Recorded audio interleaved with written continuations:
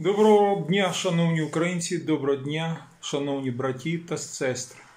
З вами мандруючий монах, брат Єгор з міста Сокіряни Чернівецької області. Звертаємось до нашого шановного президента України Володимира Олександровича Зеленського.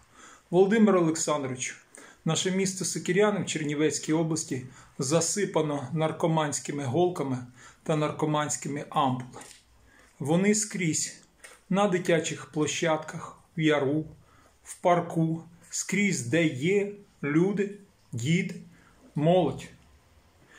Місцева морська влада не справляється, фактично нічого не робить. Поліція тільки розводить руками. Школа. У школі проблема, скільки взяти за годину репетиторства. А молодь, дітки наші, майбутні України, гени. Я вас дуже прошу, врятуйте наших дітей українських від наркоманської голки. Я вас дуже прошу, Володимире Олександровичу, ведіть в школах Слово Боже. На коліна стану і буду вас, Володимир Олександрович, просити.